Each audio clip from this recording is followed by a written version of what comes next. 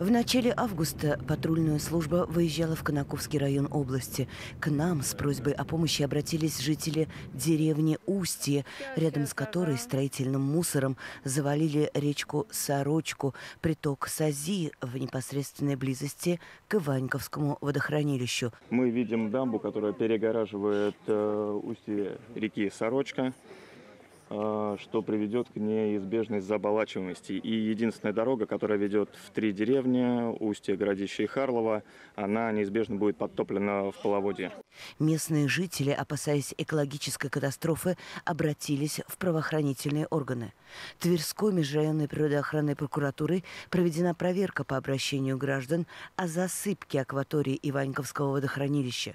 Установлено, что собственником земельного участка сельскохозяйственного назначения, расположенном в деревне Устье Конаковского района Тверской области, в нарушении закона с привлечением специализированной строительной техники проведены работы по изменению дна и берега Иваньковского водохранилища, снят и перемещен плодородный слой почвы, строительными отходами захламлена территория. С целью устранения нарушений закона природоохранный прокурор обратился в суд. Решением Заволжского районного суда города Твери исковые требования природоохранной прокуратуры удовлетворены.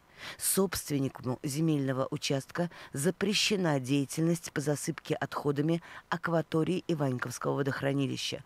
На него возложены обязанности по расчистке водного объекта, территории в водоохранной зоне и береговой полосе от незаконно размещенных отходов, возведенной с их помощью дамбы, а также по проведению работ по рекультивации сельскохозяйственных земель.